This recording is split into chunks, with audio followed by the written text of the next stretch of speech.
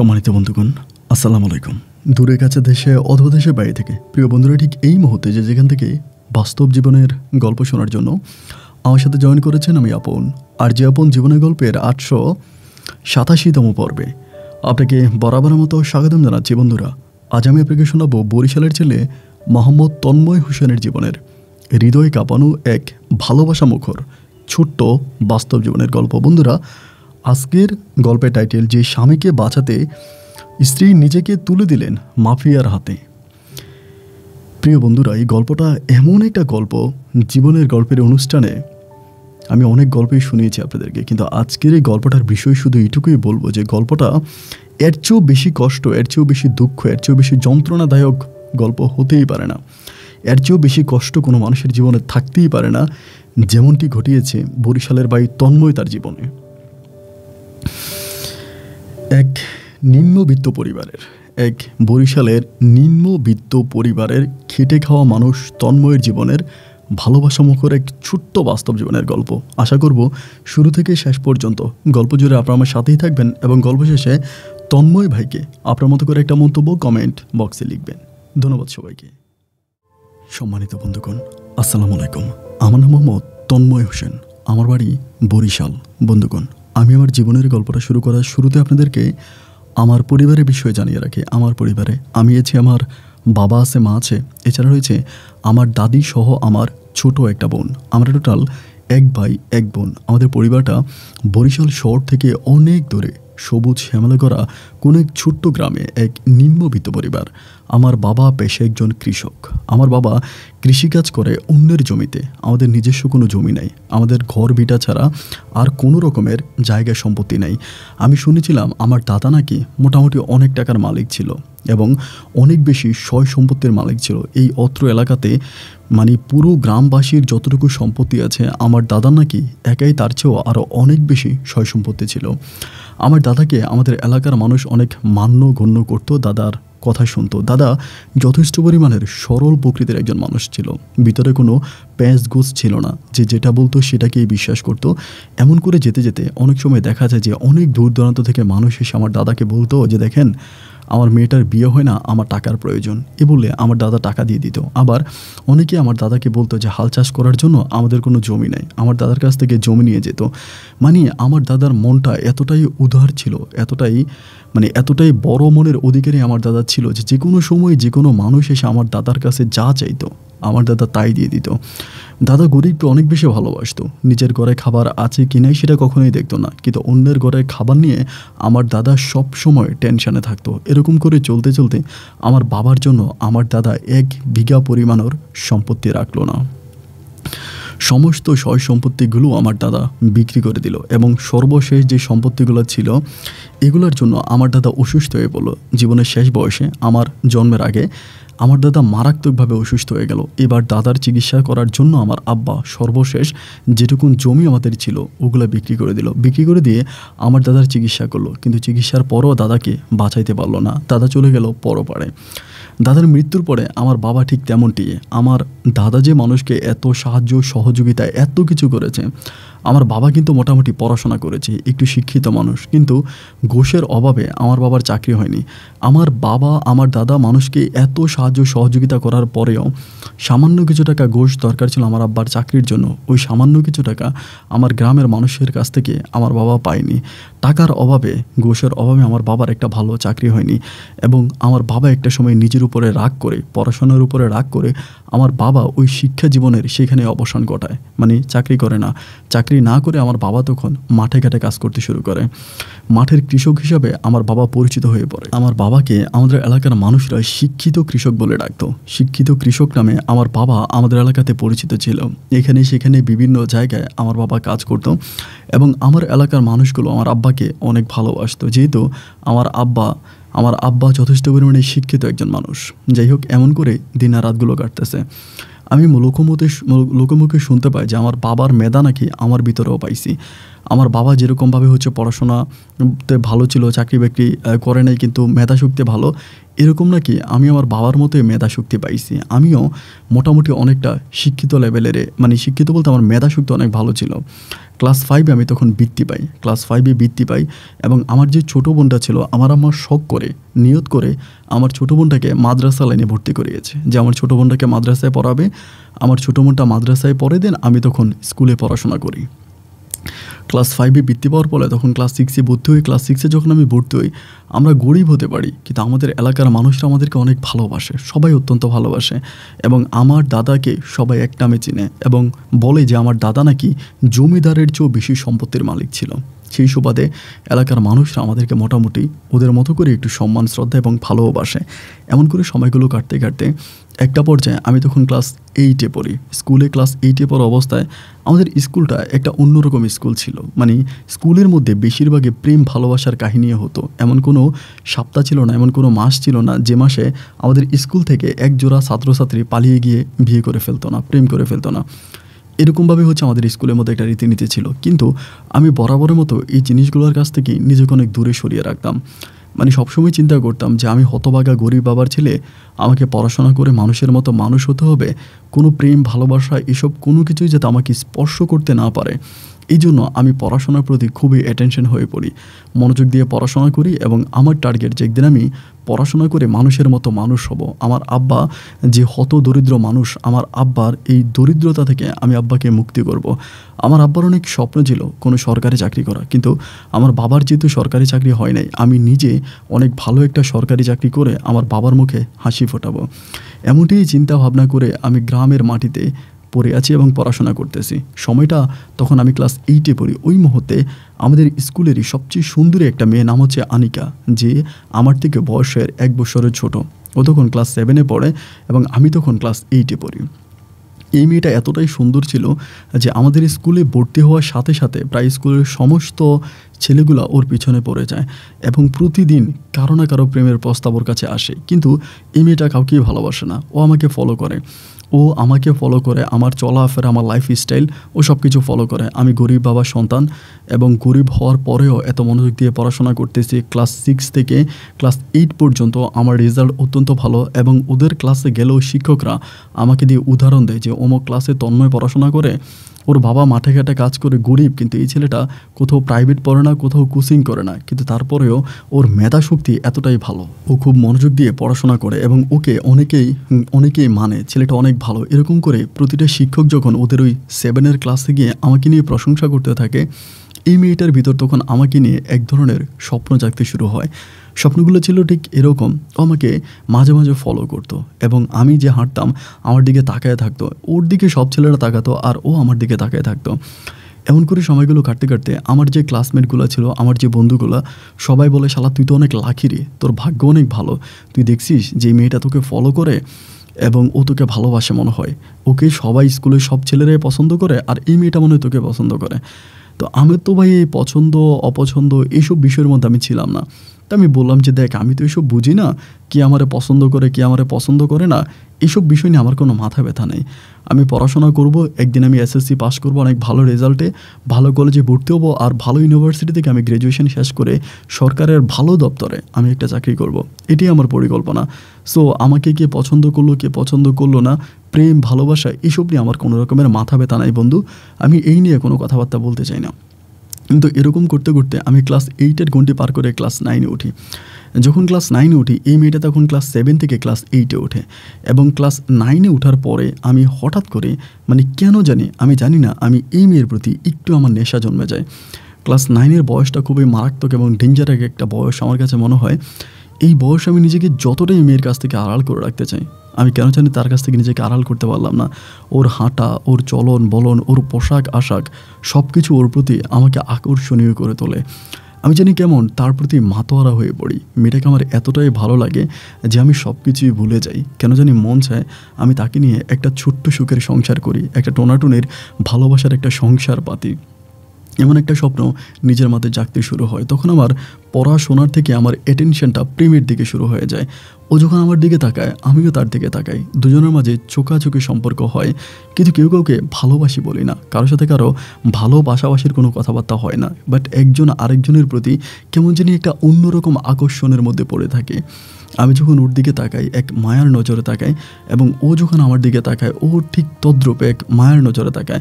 আমাদের দুজনের মাঝে কেমন জানি একটা কেমিস্ট্রি প্রেম ভালোবাসা চলতেছিল। কিন্তু এইটা কেউ কাউকে বলি না। না, আমি ওকে বলি যে আমি ওকে পছন্দ করে ভালোবাসি, না, ও আমাকে বলে। এমন করতে করতে ক্লাস এইট ক্লাস নাইনের লাস্টের বছরে মানে বার্ষিক পরীক্ষা দেওয়ার আগে এও আমার জন্য একটা চিঠি লিখলো। আমার জন্য একটা চিঠি লিখলো এবং অন্য মেয়েরা যেরকম চিঠি লিখে অন্য কাউকে দিয়ে পাঠায় ছেলেদের কাছে, ও চিঠিটা সরাসরি আমাকে দিল। আমাকে একদিন বলল যে, তন্ময় ভাইয়া, আমার বুকের ভিতর জমে থাকা কিছু কথা আপনার জন্য লিখে পাঠালাম। যদি পারেন কথাগুলো একটু শুনেন কথাগুলো একটু পড়েন। আপনি যদি পড়েন, তাহলে আমি অনেক শান্তি পাবো। তো ওকে তো আমি পছন্দ করি দূর থেকে। ও আমাকে পছন্দ করে আমি ওকে পছন্দ করি। তার উপরে চিঠিটা দেওয়ার পরে বাড়িতে গিয়ে চিঠিটা পড়লাম। এবং পড়ে আমার এতটাই ভালো লাগল যেটা আমি বলে বোঝাতে পারব না। চিঠির ওই বাসা এতটাই মিষ্টি মধুর ছিল, চিঠিটা পড়তেছি আর আমার কাছে মনে হচ্ছে যেন ও আমার সামনে দাঁড়িয়ে আমাকেই প্রত্যেকটা কথা বলতেছে। ওর প্রতিটা কথা আমার কান দিয়ে ঢুকে আমার হৃদয়ের মনের মনি কোটায় আঘাত করতেছিল। মনে হচ্ছিল তাকে আমি এতটাই ভালোবেসে ফেলেছি, যতটা ভালো আমি নিজেকে বাসতে পারি নাই। ঠিক ওই চিঠিটা পাওয়ার পর থেকেই আনিকার সাথে আমার শুরু হয় এক মিষ্টি প্রেমের ভালোবাসার সম্পর্ক। আমার দিনরাত সব কিছু মিলিয়ে আনিকা আমার সাথে আছে। আমার আনিকাকে ছাড়া কোনো কিছুই ভালো লাগে না। চব্বিশটা ঘণ্টা মনের ভিতর আনিকাকে নিয়ে আনচান করতে থাকে। এমন করে সময়গুলো কাটতে কাটতে একটা পর্যায়ে কেমন যেন একটু হয়ে গেলাম। ওর প্রতি খুব বেশি মাতারা হয়ে গেলাম এবং সকাল নাই, বিকাল নাই প্রতিটা মুহূর্তে ওদের বাড়ির আশেপাশে ঘোরাফেরা করি। স্কুলে ও না আসলে আমার ভালো লাগে না। ও আসলে আমার অন্তর ঠান্ডা হয়, ও না আসলে আমার ভালো লাগে না। মানে কেমন জানি নিজের ভিতরে এক কষ্ট অনুভব করতে থাকি। এভাবেই সময়গুলো কাটতেছে, ওদের বাড়ির দিকে যাচ্ছে, ওদের বাড়িতে ঘুরতেছে এবং ওরাও খুবই নিম্নবিত্ত ফ্যামিলির একজন, একটা মেয়ে ছিল। ওর মানে বোন ছিল, আরও তিনটা বোন আছে, ছোট তিনটা বোন আছে, ও সবার বড়। তো মানে আর ওই মেয়েটা মানে টোটালি মনে হয় যেন গোবরে মানে গোবরে পদ্মফুল ফোটার মতো। আমি বললে হয়তো কেউ বিশ্বাস করবে না, কিন্তু ওর চেহারার দিকে যদি কেউ একবার তাকায় চোখ সরাতে পারবে না। আল্লাহ মনে হয় যেন ওকে মেকআপ করে দুনিয়াতে পাঠাইছে। এখনকার সময়ে মেয়েরা মেকআপ করলে যেমন সুন্দর, ও মেকআপ ছাড়াই ততটাই সুন্দরী ছিল। ওর কোনো মেকআপ লাগতো না। মনে হয় যেন ও ঠোঁটে সবসময় লিপস্টিক দিয়ে হাঁটে, কিন্তু ও কখনো লিপস্টিক দেয় নাই। ঠোঁটগুলো কবুতরের মতো এতটাই লাল ছিল। হরিণী কাটা দুটো চোখ ছিল। নাকটা বাঁশির মতো সুরালো ছিল। লম্বা ফর্সা, সিমসাম বডির এক পিস একটা মেয়ে ছিল। যাই হোক ওর প্রস্তাবে আমি তখন আমাদের মাঝে প্রেম, ভালোবাসা চলে, ওদের বাড়ি এদিকে ওইদিকে যাই, তখন আমি এসএসসি পরীক্ষার আগ মুহূর্ত হয়ে যায়। ওই মুহূর্তে হঠাৎ করে একদিন ও আমাকে আমাকে বলে যে আজকে সন্ধ্যার পরে আমি আপনাদের ওইদিকে আসব, আপনার সাথে আমার কথা আছে। কেন আমি জানি না, আমি তো সবসময় ওদের ওইদিকে যাই, কিন্তু আজকে আমাকে বলে যে আমাদের এদিকে এসে না, আমি আপনাদের এদিকে যাব। আসরের পরে মানে আমাদের স্কুল ছুটি হওয়ার পরেই দেন ও বাড়িতে গেল ড্রেস আপ খুলে ওদের বাড়ির একটা মেয়েকে নিয়ে, ছোটো একটা মেয়েকে নিয়ে আমাদের বাড়ি এদিকে আসলো। আসার পরে আমি তখন মাঠের দিকে বেরোলাম এবং মাঠের দিকে বেরোয়ার পরে ওর সাথে আমার দেখা। মার যখন ওর সাথে আমার দেখা, আমি তখন খেয়াল করে দেখলাম যে তার চোখের পানিগুলো অনেক টলমল করতেছে। মনে হলো তার ভিতরে এক পৃথিবী পরিমাণ কষ্ট জমে আছে। আমি জিজ্ঞেস করলাম যে, আনিকা, কী হয়েছে? তুমি কোনো ব্যাপারে কি আপসেট আমাকে বলে, না, কিছু না। আমি বললাম, আরে, আমার কাছে বলো, কি হয়েছে? তুমি এভাবে মন খারাপ করে আছো কেন? মনে হয় যেন তুমি এখনই কান্না করে দিবা। কি আমার কাছে বলো? ও আমাকে বলে যে, তন্ময়, আমার অনেক স্বপ্ন ছিল। আমি তোমাকে নিয়ে একটা ছোট্ট সুখের সংসার বাঁধবো। জীবনের বাকি সময়টা তোমার সাথে কাটাবো। কিন্তু মনে হয় আমার এই স্বপ্নটা পূরণ হলো না। আমার এই স্বপ্নটাকে ভেঙে দিল আমাদের স্কুলের সিরাজ স্যার। আমি তখন বললাম, সিরাজ স্যার? সিরাজ স্যার কী করছে? ও আমাকে বলে, জানো, সিরাজ স্যার আমার বাবার কাছে আমাকে বিয়ের প্রস্তাব পাঠাইছে। কথাটা শুনে কিন্তু অবাক হয়ে গেলাম যে সিরাজ স্যার মধ্যবয়স্ক একজন স্যার আমাদের শিক্ষক, তিনি মধ্যবয়স্ক এবং তার মানে ওয়াইফ নাই দুটা বাচ্চা আছে। তো ওয়াইফ স্যারের ওয়াইফ মারা গেছে। আজকে অনেক বছরের ওয়াইফ মারা গেছে, স্যার আর বিয়ে শাদী করে নাই। এই স্যার নাকি আনিকার বাবার কাছে আনিকাকে বিয়ের প্রস্তাব পাঠাইছে। এটা শোনার পরে আমি তখন অবাক হয়ে গেলাম যে কী ব্যাপার? স্যারকে কিন্তু আমি ব্যক্তিগতভাবে অনেকটা সম্মান করতাম। শুধু আমি না, আমাদের স্কুলের যত স্টুডেন্ট আছে সবাই স্যারকে সম্মান করে। স্যার যথেষ্ট পরিমাণে রোমান্টিক একজন মানুষ। প্রত্যেকের সাথে অনেক আদর করে কথা বলে, সবার সাথে মিশে এবং এক কথায় বলতে গেলে স্যার পুরো অসাধারণ একটা মানুষ। কিন্তু এই মানুষটা, এই মানুষটার ভিতরে এরকম একটা মানে খারাপ মন লুকিয়ে আছে যে কিনা তার ক্লাসে পড়া, তার স্কুলে ক্লাস নাইনে পড়া একটা মেয়েকে উনি বিয়ে করতে চায়, যেটা তার কাছে তার ছাত্রী। বিষয়টা শোনার পর আমি তখন অনেকে জিজ্ঞেস করলাম, তুমি কি সত্যি বলতেছো? এটা কি শিওর ও আমাকে বলে আমি তোমাকে মিথ্যে বলতে যাব কোন দুঃখে? আমি তোমাকে মিথ্যে বলে আমার কোনো লাভ আছে? আমার আব্বার কাছে বিয়ের প্রস্তাব পাঠাইছে, আব্বা বিষয়টা আম্মাকে বলল, আম্মা আমাকে জানাইছে। দেন আমি তোমাকে জানাইতে আসছি। বললাম মানে কি আমি তো কখনো কাউকে ভালোবাসি নাই। কারও প্রতি আমার ভালোবাসা নাই। কিন্তু আমি তোমাকে এতটাই ভালোবাসি, জানিকা, যদি কোনোভাবে আমি তোমাকে হারাই, বিশ্বাস করে আমি বাঁচবো না, আমি মরে যাব। একইভাবে ও তখন কাঁদতে কাঁদতে আমাকে বলে, তোমার কাছে কি মনে হয় যে আমি তোমাকে হারালে বাঁচবো? আমি তো তোমাকে তোমার চেয়েও বেশি ভালোবাসি। তুমি যেমন আমাকে না পাইলে বাঁচবা না, আমাকে ছাড়া থাকতে পারবা না, আমিও ঠিক তদ্রুপ তোমাকে ছাড়া একটা নিঃশ্বাসও ফেলতে পারব না। আমিও তোমাকে অনেক বেশি ভালোবাসি। তুমি যেভাবেই পারো তন্ময়, আমাকে এই বিপদ থেকে রক্ষা করো। আমি সিরাজ হাত থেকে বাঁচতে চাই। আমি তোমাকে বিয়ে করতে চাই। আমি সিরাজ মতো আমার বাবার বয়সে একটা মানুষকে আমি কেন বিয়ে করব বলো? আমার তো তাকে ভালোই লাগে না। আর ভালো লাগা না লাগা তো হচ্ছে পরের বিষয়। উনি যে আমার হাজব্যান্ড হবে, এটা তো আমি কখনো স্বপ্নেও চিন্তা করতে পারি নাই। কারণ তাকে তো আমি আমার বাবার আসরে বসাই। তিনি তো আমার শিক্ষক, আমার গুরুজন। কথাগুলো শোনার পরে আমার তখন কেমন জানি ভিতরটা কেঁপে উঠল। কিন্তু আমি কি করতে পারি? আমিও খুবই গরিব মানুষ এবং আনিকাদের পারিবারিক অবস্থা অত্যন্ত খারাপ, তাদের অবস্থাও ভীষণ খারাপ। তো এরকম একটা নিম্নবিত্ত ফ্যামিলির সন্তান হয়ে আমি কী বা করতে পারি? বুকের ভিতর তখন আনচান আনচান করতেছিল। কি করব, না করব কিছুই বুঝতে পারছিলাম না। আমি তখন তাকে বললাম যে, ঠিক আছে, তুমি এখন যাও। আমি এই বিষয়টা নিয়ে চিন্তা করি এবং আমি তোমাকে জানাব যে কী করা যায়। সেদিনও চলে গেলো ও বাড়িতে গেল এবং ও বাড়িতে যাওয়ার পরে এবং আমিও তার পরের দিন মানে সারাটা রাত আমি ঘুমাইতে পারি নাই এর পরের দিন আমিও তখন স্কুলে গেলাম। স্কুলে যাওয়ার পরে চিন্তা করতেছি, আমার সামনে এসএসসি পরীক্ষা এবং এই এসএসসি পরীক্ষার মাঝে তো আমার পক্ষে কোনো কিছুই করা সম্ভব না। আমার ঘরে একটা ছোটো বোন আছে, আমার বাবা কৃষি কাজ করে, বাবা অনেক অসুস্থ, অনেকটাই অসুস্থ। তো এই অবস্থার ভিতরে আসলে আমি কী করতে পারি? ওই দিনটাও কেটে গেল, ও আমার দিকে তাকায়, আমি ওর দিকে তাকায়, অসহায়ের মতো একজন আরেকজনের দিকে তাকিয়ে থাকি। আসলে স্কুলে পড়ি তো ছোটো মানুষ কী বা করতে পারব? আমার কাছে তো কোনো ক্ষমতা নেই। আমি যে কোনো কিছু করব বা কোনো কিছু বলব, এরকম কোনো পাওয়ার তো আর আমার কাছে নেই। এমন করে সময়টা কাটতে কাটতে ওই দিনের ক্লাসটাও কেটে গেল। ক্লাস কেটে যাওয়ার পরে ও তখন ওর বাসায় গেল, আমি তখন আমার বাসায় গেলাম।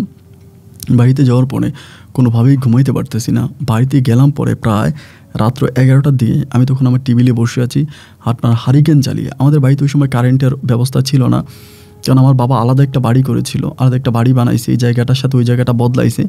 তো সেখানে ইলেকট্রিসিটি নিয়ে আমি হারিকেন জ্বালিয়ে পড়তেছিলাম এবং বাড়িটা মোটামুটি আশেপাশে কোনো বাড়িঘর নাই, সব বাড়িগুলোর মানে আলাদা একটা বাড়ি। তো এই আমি যখন পড়তেছি, আমার মানে আমার যে পড়ার টেবিলের সামনে দরজার মানে জানালার ভিতরে ঠকঠক করে শব্দ করতেছে। আমি তখন জানালা খুললাম, খোলার পর দেখি যে ও দাঁড়ায় আছে, অনেক রাত্রি। মানে আনিকা দাঁড়ায় আছে, ওরে দেখার পর তো আমি খুবই ভয় পেয়ে গেলাম, কিরে, ও দাঁড়ায় আছে, বিষয়টা কি? আমি তখন বেরোলাম এখান থেকে বেরোলাম রুম থেকে বেরিয়ে ওর কাছে গেলাম, গিয়ে বললাম যে, এত রাতের বেলায় তুমি কাকে নিয়ে আসছো? ও আমাকে বলে, আমি একে আসছি, ধান ক্ষেতের ভিতর দিয়ে হাঁটতে হাঁটতে চলে আসছি। আমি বললাম, কী বললা তুমি, ধান ক্ষেতের ভিতর দিয়ে হাঁটতে হাঁটতে এত রাতের বেলায় কেন আসছো? ও আমাকে বলে, শুক্রবারে সিরাজ স্যারের সাথে আমার বিয়া। তখন ছিল মঙ্গলবার, বুধবার, বৃহস্পতিবার, শুক্রবারে বিয়ে হাতে আছে দুই দিন। আমি বললাম, কী বলো তুমি? সিরাজ স্যারের সাথে তোমার বিয়ে মঙ্গলবার রাতেও আমাকে এটা বলতেছে। আমি বললাম হ্যাঁ সিরাজ স্যার আজকে বিকেলে আমাদের বাড়িতে আসছে, এসে আমার আব্বুর সাথে বিয়ে ফাইনাল করে গেছে। আমি বললাম যে এখন আমি কি করব? ও আমাকে বললাম আমি তো জানি না তুমি কি করবা। তবে আমি তোমাকে জাস্ট এটা বলে রাখি যে, যদি সিরাজ স্যার আমাকে বিয়ে করে, আমি কিন্তু আত্মহত্যা করব। আমি কিন্তু বাঁচবো না। আমি বললাম, দেখো অনিকা, আমি তুমি বাঁচবা কি মরবা সেটা তো আমি বুঝি না, কিন্তু আমি তো বাঁচবো না। তোমার গায়ে অন্য কোনো পুরুষ হাত দেবে, এটা তুমি জীবনেও মেনে নিতে পারব না। ও আমাকে বলো আমি কি করতে পারি বলো? আমার কাছে তো আর কোনো রাস্তা খোলা নাই। আমার তো আর কাছে, আমার কাছে আর কোনো রাস্তা খোলা নেই যে আমি কোনো কিছু করব। আমি তখন বললাম যে যে কোনো কিছুর বিনিময় হোক। আমি তোমাকে আমার করে নিব। আমার বুক থেকে তোমাকে কেউ আলাদা করতে পারবে না। কারণ আমি তোমাকে আমার জীবনের চাইতে বেশি ভালোবাসি। তুমি অন্য কারও হয়ে যাবা, এটা আমি তন্ময় কখনো স্বপ্নেও চিন্তা করতে পারব না। ঠিক আছে, তুমি যাও এবং কালকে আমি এটার একটা ব্যবস্থা নিব। এটা বলার পরে, পরের দিন আমি তখন স্কুলে গেলাম। স্কুলে গেলাম পরে আমি চিন্তা করতেছি, আমি সিরাজ স্যারের সাথে কথা বলব।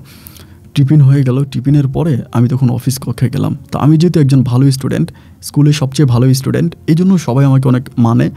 অফিস রুমে যাওয়ার পরে অন্য যে শিক্ষকরা আছে, তাদের মাঝে সিরাজ স্যার বসে আছে। যাওয়ার পরে সবাই তখন বলতেছে, কিরে, তন্ময়, কি, কোনো সমস্যা? অফিসে চলে আসলি? আমি তখন হেড স্যারকে বললাম যে, স্যার, আমার একটু সিরাজ স্যারের সাথে কথা আছে। এটা বলার পরে সিরাজ স্যার আমার দিকে ফিরে থাকে বলে, কি রে, আমি তো তোদের এখানে মাত্র ক্লাস করে আসলাম। তাই তখন তুই কিছু বললি না। তুই ক্লাসের মধ্যে অনেক অমনোযোগী ছিলি, তোকে দেখে বোঝা গেছে যে কী হয়েছে বল। আমি বললাম যে, স্যার, এখানে বলতে চাই না। যদি একটু সাইডে আসেন তাহলে বলব। পরে আমার বলে সাইডে বলতে কোথায় যেতে হবে? আমি বললাম যে অফিসের একটু পাশে আসলেই হবে, আমি আপনাকে বলব। দেন আমাকে বলো আচ্ছা ঠিক আছে, চল। পরে আমার সাথে তিনি বেরোলো। বেরোয়ার পরে আমি ওই আমাদের অফিস রুমের পাশে আমি ওনাকে মানে একদম হাতে ধরে কান্না করে দিছি যে, স্যার আমি অনেক গরিব একটা মানুষ, আমার বাবাও হত দরিদ্র, আমি পড়াশোনা অনেক ভালো, আমি আপনার জন্য পড়াশোনা করতে পারতেছি না, আপনার জন্য আমার পড়াশোনা সব কিছু নষ্ট হয়ে যাচ্ছে। আমাকে বলে, কেন? আমি তো তোর একজন শিক্ষক, আমি তো চাই তুই ভালোভাবে পড়াশোনা কর, ভালো রেজাল্ট কর, তা আমার জন্য তোর পড়াশোনার ক্ষতি হবে কেন? তখন আমি কাঁদতে কাঁদতে বললাম, যে স্যার, আমি আনিকাকে অনেক ভালোবাসি, আমি আনিকাকে ছাড়া বাঁচবো না। ও আমার দেহের অক্সিজেন আপনি যদি ওকে বিয়ে করে ফেলেন, আমি স্যার আত্মহত্যা করব। পড়াশোনা তো শেষ হবে হবে, আমার জীবনটাও শেষ হয়ে যাবে। স্যার তখন রাগান্বিত চোখে আমার দিকে তাকিয়ে বলতেছে, কি বলতেছিস সেগুলো তুই? তুই স্কুলের সবচেয়ে ভালো ছাত্র। এই স্কুল তোকে নিয়ে গর্ব করে। তুই এটা কি বললি যে তুই তুই আনিকাকে ছাড়া মরে যাবি? আনিকাকে তুই বিয়ে করবি? এটা কী ধরনের কথা? আমি বললাম, স্যার, আমি যেটা বলেছি সেটাই। আমি যদি আনিকাকে হারাই, স্যার, আমি বাঁচবো না। আমি যদি আনিকাকে হারাই, স্যার, আমি বাঁচবো না, আমি মরে যাব, স্যার। আমি আনিকাকে এতটাই ভালোবাসি যে আনিকা আমার জীবনের আমার জীবনের আনিকা সব কিছু স্যার আমাকে বলতেছে, দেখ, পাগলামি করিস না। এরকম পাগলামির কোনো মানে হয় না। তুই মাত্র পড়াশোনা করতেছিস এসএসসি পাস করবি, ভালো রেজাল্ট করবি, এরপরে কলেজে ভর্তি হবে কলেজ থেকে ইউনিভার্সিটিতে যাবি দেন চাকরি বাকরি করবি, তোর বাবা একজন কৃষক, অনেক কষ্ট করে টাকা পয়সা দিয়ে তোকে পড়াশোনা করায় সব সময় তোর পরীক্ষার ফিস এটা ওইটা দিতেও পারে না। অনেক সময় আমরা অনেক কিছু মাফ করে দেই, অনেক কিছু মাফ করে দেই সব কিছু আমরা আমলে নেইও না। তাই এখন তুই এটা কী বলতেছিস? আমি তখন বললাম যে, স্যার আমি তো এরকমই চিন্তা করেছিলাম যে আমি এসএসসি পাস করব কলেজ পাস করব ইউনিভার্সিটি পাস করব, ভালো একটা চাকরি করব, আমার আব্বাকে আমি এই দরিদ্র জীবন থেকে মুক্তি দেব। কিন্তু স্যার, এখন এমন একটা সময় সে দাঁড়িয়েছে, যে সময় আমার কাছে মনে হয় আমার সব কিছুর ঊর্ধ্বে আনিকা। আমি আনিকাকে ছাড়া আর কোনো কিছুই চিন্তা করতে পারি না। স্যার, আমাকে বলে, এটা তোর দোষ না, এটা তোর বয়সের দোষ। তো দেখ বাবা এই বয়সে এরকম একটু একটু পাগলামি হয় তুই আনিকা তোর এক বছরের ছোট, তুই চাইলে এই মেয়েটাকে বিয়ে করতে পারবি না। আর আমি তাকে বিয়ে না করলে কেউ না কেউ তাকে বিয়ে করবে, তার বিয়ে হয়ে যাবে। সুতরাং তুই তাকে বিয়ে করতে পারবি না। তুই তার এখান থেকে চিন্তা ভাবনা সব সরিয়ে তোর চিন্তাভাবনাগুলো পড়াশোনার দিকে দে। কারণ তুই পড়াশোনা করে একদিন যখন অনেক বড় হবে, অনেক বেশি উচ্চশিক্ষিত হবে, তখন আনিকার চেয়ে আরও সুন্দরী মেয়ে তোকে বিয়ে করবে। তুই দেখোস না, আমি একজন শিক্ষক, আমার মধ্যবয়স হয়ে গেছে, তারপরও আনিকার বাবা আনিকাকে আমার কাছে বিয়ে দেওয়ার জন্য পাগল। তা তুইও যদি এরকম পড়াশোনা করে একদিন কোনো চাকরি করতে পারিস ভালো কোনো শিক্ষক হতে পারিস, তাহলে দেখবি অনেক স্টুডেন্টরাই তোর কাছে বিয়ে বসতে রাজি হবে, তার পরিবার তোর কাছে বিয়ে দেবে। আমি যতই স্যারকে বোঝাচ্ছি, স্যার আমাকে ঠান্ডা মাথায় অন্য কিছু বুঝিয়ে দিচ্ছে। আমি কোনোভাবেই স্যারের সাথে যুক্তি তর্কে পেরে উঠতেছি না। একটা পর্যায়ে মনে হলো যে, না, আমার মনে হয় স্যারকে আমি আর বুঝাতে পারব না। আমি তখন নিরুপায় হয়ে স্যারকে এই কথা বলতে বাধ্য হলাম যে, স্যার, আপনি যদি আনিকাকে বিয়ে করেন, আপনি আনিকার বাড়িতে যাবেন, দুলা সেজে আর আসবেন লাশ হয়ে। এটি একটু উচ্চ সুরে বলার পরে স্যার আমাকে বললি, কি বললি তুই? আমি বললাম, জি, স্যার। আমি প্রয়োজন আপনাকে মার্ডার করব, আপনাকে খুন করে আমি জেলের জেলে আমার ফাঁসি হবে, কিন্তু আমি আনিকাকে আপনাকে বিয়ে করতে দিব না। এইটা বলা মাত্র ছাড় তখন ঠাস করে আমার কলার চেপে ধরলো।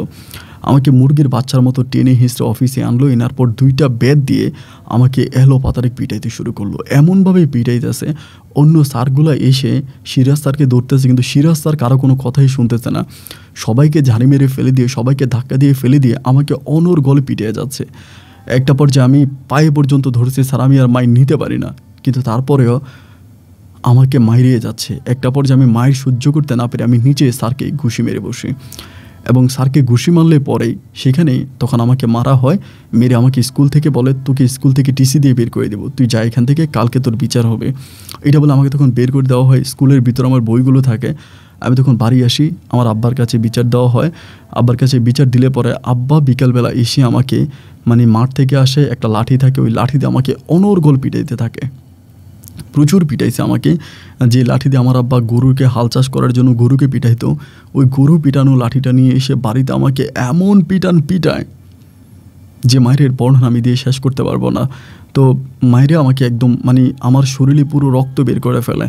আমার আম্মা তখন রাতের বেলায় আমার শরীরের বিভিন্ন জায়গায় ক্ষত মারির ক্ষত জায়গাগুলোতে মানে মলম লাগাচ্ছে, তেল গরম করে দিতেছে, এরকম আমার ট্রিটমেন্ট করতেছে। এমন করতে করতে আমার প্রায় এগারোটার দিকে ঘুমিয়ে গেল। আমি তখন আমার রুমে গেলাম।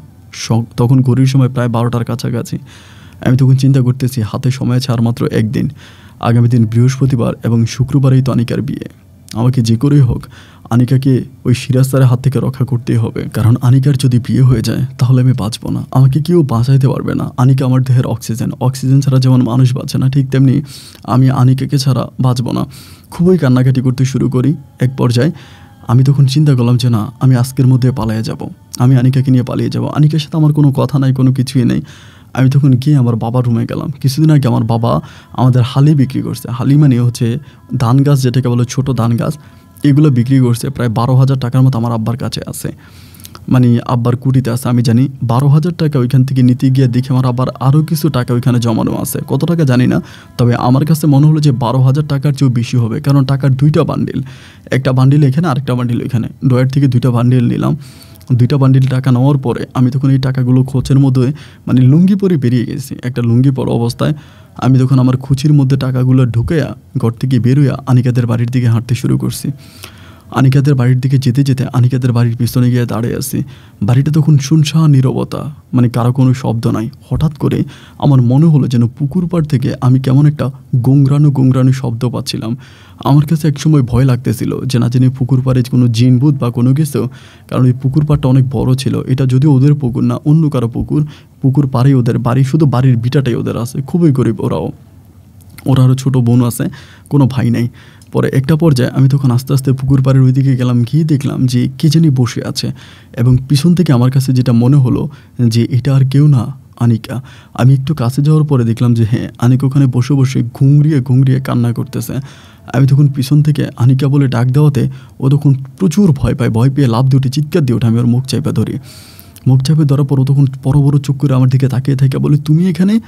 বললাম হ্যাঁ। ও আমাকে বলে, এখানে কেন আসছো? আমি বললাম আনিকা আমি তোমাকে নিতে আসছি। ও বলে, কোথায়? আমি বললাম, চলো, আমরা পালিয়ে যাব। হমির তুমি কি পাগল হইছ? কালকের পরের দিন আমার বিয়ে। আমার আব্বা সবাইকে দাওয়াত দিয়ে দিছে সবাই চলে আসবে। আমি এখন কীভাবে তোমার সাথে পালিয়ে যাব? তুমি তো সিরাজ স্যারকেও ম্যানেজ করতে পারলে না। উল্টে সিরাজ স্যারকে ঘুষি দিয়া তুমি স্কুল থেকে টিসি পেয়ে গেলা। তোমাকে স্কুল আর পড়তে দিবে না। আমি বললাম, গোল্লায় যাক আমার স্কুল আর গোল্লায় যাক আমার পড়াশোনা। আমি তোমাকে ভালোবাসি। আমার তোমাকেই লাগবে। আমার পড়াশোনা, আমার স্কুল, আমার কোনো কিছুর প্রয়োজন নেই। তুমি আমার সাথে চলো। ও আমাকে বলে, দেখো তন্ময়, পাগলামি করো না। তোমার বাবা অনেক কষ্ট করে তোমাকে পড়াশোনা করাইতেছে। তুমি একদিন পড়াশোনা করে অনেক বড় হবা, মানুষের মতো মানুষ হবা। আমার স্কুলের প্রতিটা শিক্ষক, শিক্ষিকা তোমাকে নিয়ে গর্ব করে। তোমার জীবনটা এভাবে নষ্ট হয়ে যাবে, এটা আমি চাই না। তুমি এরকম পাগলামি করো না প্লিজ তুমি বাড়ি ফিরে যাও। আমি বললাম, আমি বাড়ি ফিরে যাব না। আমি বাড়ি থেকে টাকা নিয়ে বেরিয়েছি আব্বার ডয়ার থেকে, এই দেখো টাকা। ও আমাকে বলে, মানি? আমি বললাম, কোনো মানি না, তুমি আমার সাথে চলো। ও বলে, তো কাপড় চোপড় নিব না? আমি বললাম, না। কোনো কাপড় চোপড় নেওয়ার প্রয়োজন নাই, তোমার শরীরে যা আছে তা নিয়ে আমি তোমার সাথে পালিয়ে যাব। কোনো কথা নেই, চলো।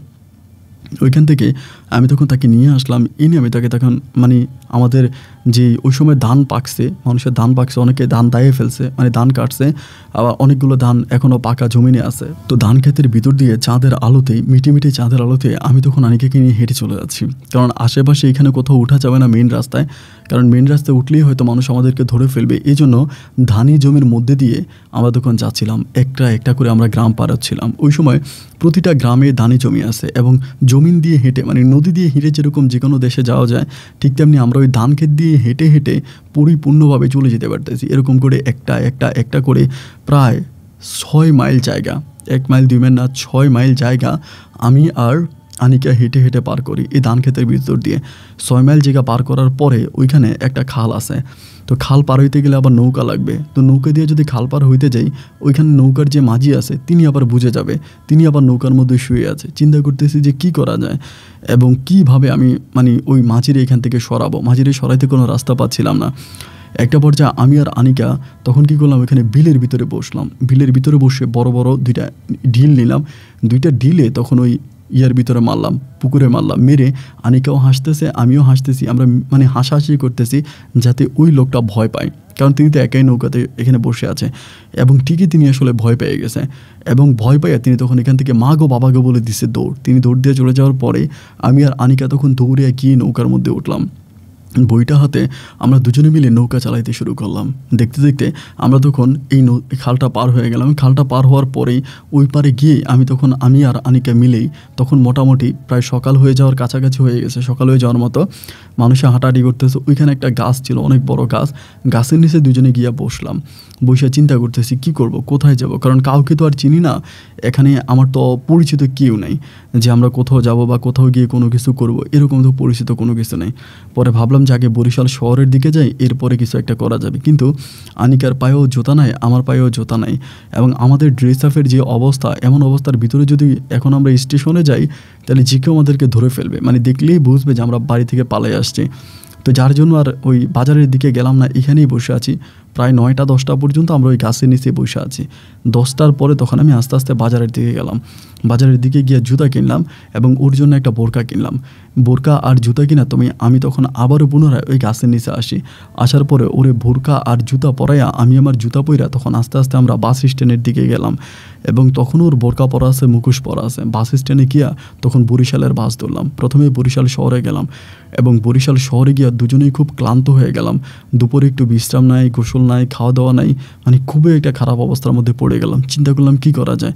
হঠাৎ করে আনিকে আমাকে বলতেছে, জানো, আমার বড় মামা শ্বশুরবাড়ি এই দিকে আমি বললাম, কি বললা? ও বলো হ, বড় মামারে, বড় মামার শ্বশুরবাড়ি এদিকে আমি এদিকে সব কিছু চিনি। আমি এখানে অনেকবার আসছি। ওই যে আমার বড় মার শ্বশুর বাড়ি ওই দিকে দেখাইলো। আমি তখন চিন্তা করলাম, তাহলে তো এই শহরে থাকা আমার জন্য রিক্স কারণ যে কোনো সময় যেহেতু তোর বড় মামার এদিকে ওর হয়তো খোঁজাখুঁজি করতে পারে, ওর বাবা হয়তো লিঙ্ক পাঠাই দিয়ে পারে, তাহলে হয়তো ওরা এখান থেকে ধরে ফেলতে পারে। আমি তখন চিন্তা করলাম, তাহলে করা যায় কি? এখানে তো আর থাকা যাবে না। আমি বললাম, চলো আমরা ঢাকায় চলে যাই। ও বলে, না, ঢাকায় আমি যাব না, আমি ঢাকায় কখনো যাইনি। আমি বললাম, আমার সাথে তুমি ঢাকায় চলো এবং ঢাকায় গেলে আমরা দুজন অনেক ভালো থাকব। কোনো না কোথাও আমার একটা ব্যবস্থা হয়ে যাবে। বিকাল প্রায় দুইটার দিকে তখন ও আর আমি একসাথে গাড়িতে উঠলাম, উঠে আমরা ঢাকার উদ্দেশ্যে রওনা দিলাম। রাতের কুটকুটে অন্ধকারে ঢাকা শহরে নামলাম। অপরিচিত একটা শহর, কাউকে চিনি না, কাউকে জানি না। ওর মতো একটা মেয়েকে নিয়ে রাস্তায় হাঁটতেছি, ভাগ্যিস ও মুখোশ পরে আছে, যার জন্য ওর ওই ফুটন্ত গ্লো গোলাপি চেহারাটা কারও শোকের সামনে পড়তেছে না। এমন করতে করতে ভাবলাম, কি করা যায়? কোথায় যাব? কোনো আবাসিক হোটেলে উঠবো? সেটাও তো বিপদ হতে পারে। কারণ আমাদের কাছে কোনো আইডি কার্ড নাই, কোনো কিছুই নেই। বিয়ের বয়সও তো আমাদের হয় নাই। ওরও হয় নাই, আমারও হয় নাই। তাহলে এখন করবোটা কি? একটা পর্যায়ে তখন এখানে একটা রেল স্টেশন ছিল কাছাকাছি, কমলাপুর রেল স্টেশন বলে পরিচিত। আমি তখন ওই কমলাপুর রেল স্টেশন ওকে নিয়ে চলে গেলাম। কমলাপুর রেল স্টেশনে যাওয়ার পরে সারাটা রাত দুজনে মিলে ওখানে বসে থাকলাম। একটা সময় সকাল হয়ে গেল। সকাল হয়ে যাওয়ার পরে পাশের একটা দোকানে পরোটা বানাচ্ছি। ওইখানে গিয়ে আমি নিজে পরোটা খেলাম এবং ওর জন্য নিয়ে আসলাম। দুজনে পরোটা দিয়া, সবজি দিয়ে খাওয়ার পরে ভাবলাম যে কী করা যায়? সারাটা রাত ঘুমাই নেই। চোখের মধ্যে মনে করেন এক পৃথিবী পরিমাণের ঘুম। এক পর্যায়ে দেখলাম যে পরোটা দোকানদার ওইখানে পরোটা বিক্রি করতেছে এবং মানে অনেকগুলো মানুষ ওখান থেকে পরোটা কিনতেছে। ভাবলাম, যার দোকান থেকে পরোটা কিনছি, তার সাথে একটু কথাবার্তা বললে দেখি না যে কোনো ব্যবস্থা হয় কিনা। ওই লোকটার কাছে গেলাম, যিনি পরোটা বানাইতেছে, ওনার কারিগর আর কি, ওনারে বললাম, সালাম দিলাম যে, ভাই, আমি আর আমার বউ গ্রাম থেকে আসছি, আমাদের একটা থাকার জায়গা দরকার, কোথাও কোনো ঘর ভাড়া পাবো কিনা? উনি আমাকে বলে এইদিকে তো বস্তি নেই, বস্তি আছে অমুক জায়গায়, ওইখানে গেলে হয়তো ঘর ভাড়া পাওয়া যেতে পারে। তো ওনার কাছ থেকে বস্তি ঠিকানা নিলাম, ঠিকানা নিয়ে ওর আমি তখন রিক্সা দিয়ে ওই জায়গায় রওনা দিলাম। তখনও কিন্তু ভাই ঢাকা শহরে প্রথম আসছি, কোনো কিছুই চিনি না। সে জায়গায় গেলাম, সে জায়গায় যাওয়ার পরে দুজনে মিলে ঘুরতে ঘুরতে একটা ঘর ভাড়া করতে সক্ষম হলাম। অল্প টাকার ভিতরে একটা ঘর ভাড়া করলাম। ঘর ভাড়া করে দুজনেই মানে ঘরে গেলাম, ঘরে ঢুকে ধরেন ঘুম, আর কোনো কথা নাই। এক গরমকাল ছিল, ওই সময় গরম পড়তেছে, কোনো ফ্যান নাই, কিছু নাই, এরই মাঝে ঘুমাই গেছি। ঘুম থেকে যখন উঠলাম, তখন দেখলাম প্রায় ঘড়ির সময়, আমার হাতে ঘড়ি ছিল দেখলাম যে প্রায় বারোটা, সাড়ে বারোটার কাছাকাছি বেজে গেছে রাত্র। একবার বুঝতে পারেন যে একটা না কতক্ষণ ঘুমাইছি। দুজনেই তো প্রচুর ক্লান্ত ক্লান্ত, ক্ষুধার্ত সব কিছু মিলিয়ে। পরে ভাবলাম যে কি করা যায়? এমত অবস্থার ভিতরে কি করা যায়? একটা পর্যায়ে আমি তখন বাইরে গেলাম। ওই মানে ওই রাতটা ওখানে কেটে দিলাম। পরের দিন আমি বাইরে গেলাম। বাইরে গিয়ে মশারি, তারপরে হচ্ছে হাত পাখা মানে ওই ফ্যান কিনবে, এত টাকা তো আর নাই। হাত পাখা, মশারি, তারপরে মোটামুটি যতটুকু জিনিসপত্র কিনা দরকার, এসব কিছু কিনলাম। এই সব কিছু কেনার পরে এইসব নিয়ে আসলাম। মোটামুটি বাইরে থেকে খাবার আনলাম, আবার একটা স্টেপ নিয়ে আসছি স্টপ এখন এগুলো আসে কিনা জানি না, যেগুলো তেল দিয়ে চালানো হতো ওই সময় মানে তেলে চলতো আর কি। স্টোভ আর কি, ওই যে তেল দিতাম নিচে, তারপর আগুন দিলে তেলে চলতো কেরাসিন তেল দিয়া। ওই স্টোভগুলো নিয়ে আসি, এগুলো নিয়ে আসা তারপরে দুজনে মোটামুটি টোনাটুনি একটা সংসার শুরু করি, রান্নাবান্না করি অ্যান্ড খাওয়া দাওয়ারও মানে আয়োজন করি। সেই সময় পর্যন্ত কিন্তু কোনো মোবাইল ফোন আমাদের কাছে নাই। খাওয়া দাওয়ার আয়োজন করি এবং রাতেও রান্না করে আমরা দুজনে মিলে খাওয়া দাওয়া করি। সন্ধ্যার পরে তখন দুজনে বাইরে যাই, গিয়ে কিছু কাপড় চোপড় নিই। ওর জন্য, আমার জন্য কাপড় চোপড় কিনে আনি, কারণ কাপড় চোপড় তো পরতে হবে। তো এই বস্তিটার ভিতরে যেটা সমস্যা, সেটা হচ্ছে বাথরুমও একটা মানে অনেকগুলো ইয়ে মিলে ইউনিট কোনো ভিতরে বাথরুম নেই, বাইরে বাথরুম গোসলখানাও বাইরে। তো এখন ওরে তো আমি জীবনও বাইরে গোসল করতে দিব না, কারণ বাইরে এখানে যারা গোসল করে মানে প্রতিটা রুম থেকেই গোসলখানা দেখা যায় যে মেয়েরা এভাবে গোসল করে। তারপরে ও বলতেছে, ঠিক আছে, আমি তাহলে রাত্রে গোসল করব। তো ও রাতে গোসল করতো, আমি দাঁড়ায় থাকতাম।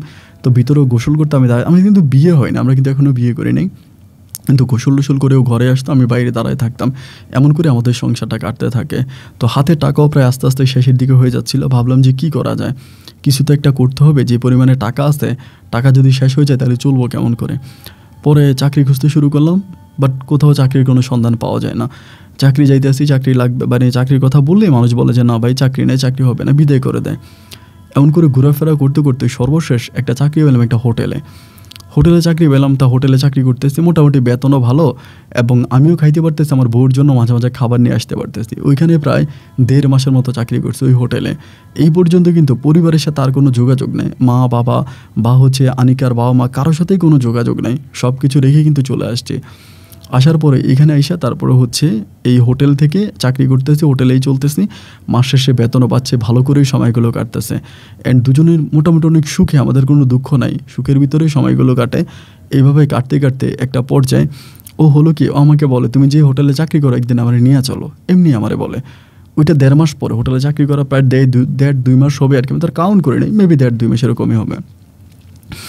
যাই হোক, এরপর আমাকে বলতেছে যে আমি একদিন তোমার হোটেলে খাবার খাব, তোমার হোটেলে তুমি আমার একদিন খাওয়াইবা।